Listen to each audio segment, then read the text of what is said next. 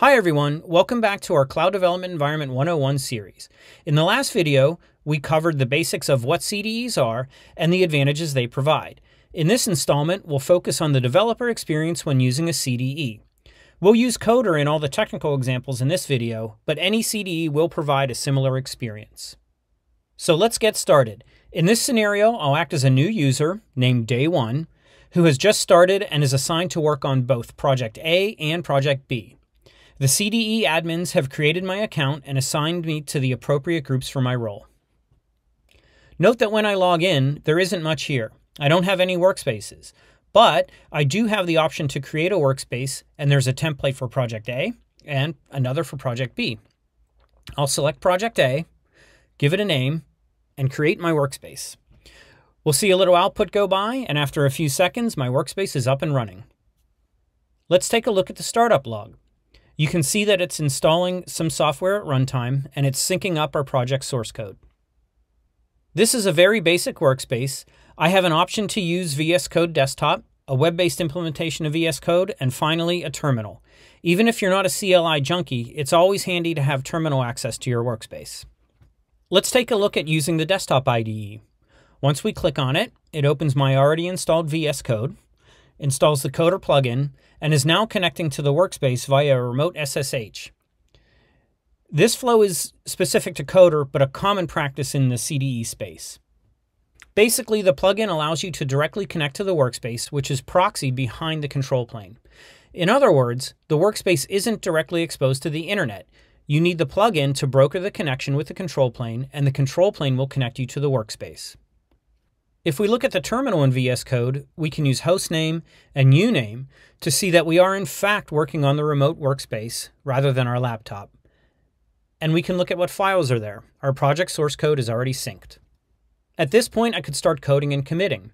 The onboarding experience is that quick and that easy with the CDE. Let's make one change to our source code just to set up our next example. This is one of the coolest things about CDEs. Everything stays on the workspace.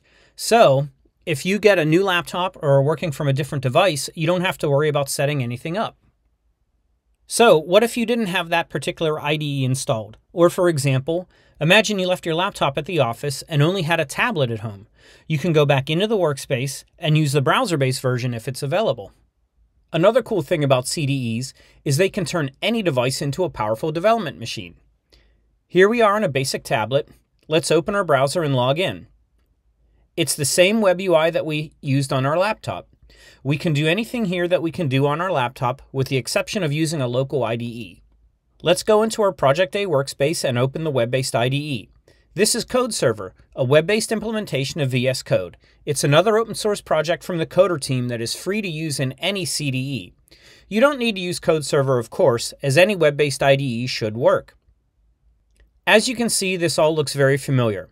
There's our file tree, there's the file we added in the previous example, and we can open a terminal and see that we're working on the workspace, not the device.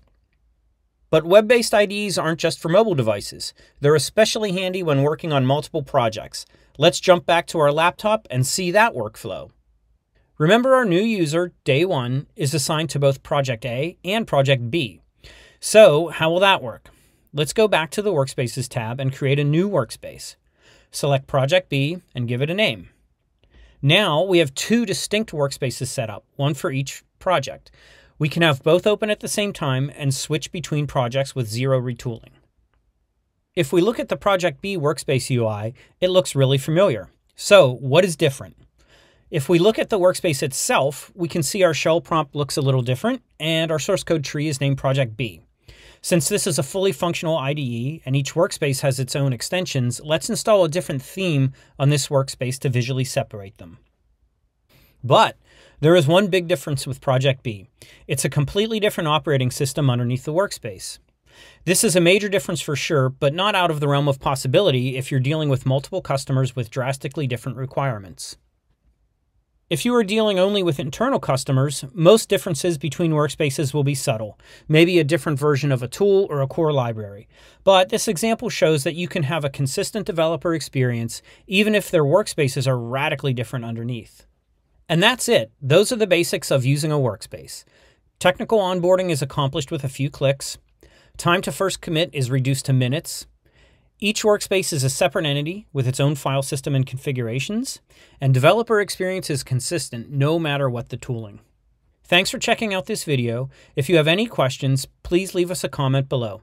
Also, have a look at coder.com for an overview of Coder's Enterprise Ready CDE and check out our GitHub page, github.com slash coder, to stay up to date with our projects, roadmap, and latest releases. Also, keep an eye on this space for our next video on the differences between a CDE and an IDE.